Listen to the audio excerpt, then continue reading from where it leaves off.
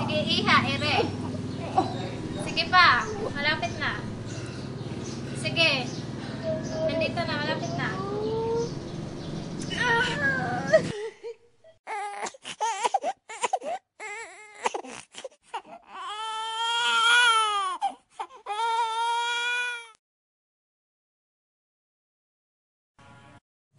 Si Segunda Katigbak ay kanya lamang puppy love, pero ang kanyang unang inibig ay ikakasal na kay Manuel Luz.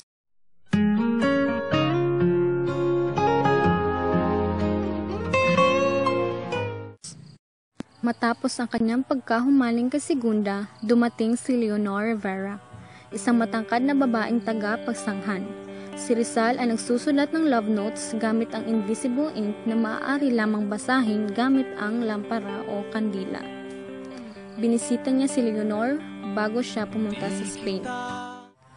Leonor Rivera, ang kanyang sweetheart ng labing isang taon, ang ina ni Leonor ay hindi sangayon sa relasyon na mayroon sila ni Rizal. Hanggang sa makilala niya si Miss na inilarawan niya na kaakit-akit at mayroong napakabighaning mata. Useisan, anak na isang Japanese samurai, tinulungan niya rin si Rizal na mapaunlad ang kaalaman ni Rizal sa Japanese language. Habang nasa London si Rizal, nakitira siya sa bahay ng pamilya Beckett at nakilala niya sa Gertrude. Bighani siya kay Rizal. Tinutulungan niya si Rizal sa pagpinta at pag-ukit ng mga imahe.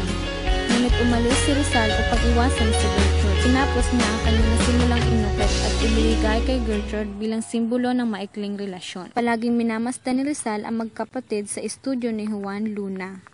Ang hindi alam ni Rizal ay palihim din palang nagmamasid si Antonio Luna sa isa sa mga anak na Eduardo na si Nali. Nalango si Antonio at nagbitiw ng mga hindi kanais-nais na mga salita kay Nelly. Ito ang nag-udyo kay Rizal para hamunin si Antonio sa isang labanan. Sa kabutihang palad ay humingin ng paumanhin si Antonio kay Rizal. Sa Brussels, nakatira siya sa bahay panuluyan sa pagmamayari ng magkapatid na Jacobi. Nahulog ang loob ni Rizal kay Suzanne, isa sa magkapatid na Jacobi. Gayon din si Suzanne kay Rizal. Ngunit hindi rin nagtagal ang pag-iibigan nila dahil umalis si Rizal sa Brussels. Si Rizal ay may nakilalang maliit na babae. Siya ay si Josephine Bracken, ang ampon na anak ni George Taufer, galing Hong Kong na pumunta sa dapitan. Naakit si Rizal kay Josephine. Inalok ni Rizal si Josephine na magpakasal ito sa kanya.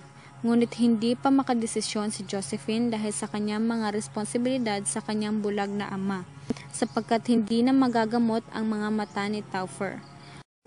Kinalaunan ay nagsilan si Josephine na wala pa sa panahon at ito ang kanyang kinakakatakutan.